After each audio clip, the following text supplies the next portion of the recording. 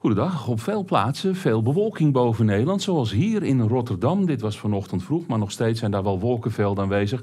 Op andere plekken breekt ook wel de zon door.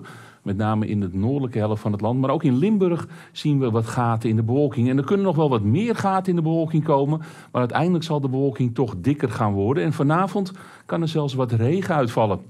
Hangt allemaal samen met de storing die nu nog boven Groot-Brittannië ligt en geleidelijk aan naar het oosten trekt. En vanavond valt er dan hier en daar wat lichte regen of motregen. Morgen een prachtige dag met veel zon en weinig bewolking.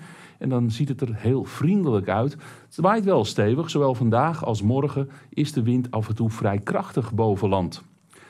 Hoe ziet dat eruit op de weerkaart? Laten we maar eens gaan kijken. Vanmiddag wolkenvelden met hier en daar dus wat zon. Misschien is dit plaatje iets te positief. Maar goed, de zon kan wel af en toe doorbreken. als dat goed lukt in het oosten en zuidoosten, kan het toch wel 21 of 22 graden worden. Elders zo'n 18 of 19 graden. En vanavond dan de eerste spatjes op de kustlijn. En die trekken dan verder naar het oosten. Wat de wind betreft, die waait matig uit het zuidwesten. Boven zee is de wind af en toe hard. En in de loop van de dag kan de wind ook wel af en toe vrij krachtig boven land worden. Wat vlagerig ook. En dat merk je echt wel, windkracht 4 tot 5.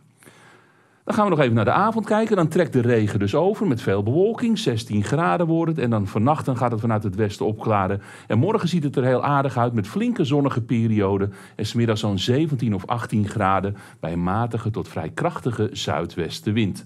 Tot slot nog even verder kijken. We zien eigenlijk dat het weerbeeld wel rustig blijft. 16, 17 graden over het algemeen. Zaterdag verwacht ik toch nog wel een paar buien die over kunnen trekken. Maar op veel plaatsen blijft het ook droog. En de wind die neemt iets af. Die wordt overwegend matig uit het zuidwesten. Nog fijne dag.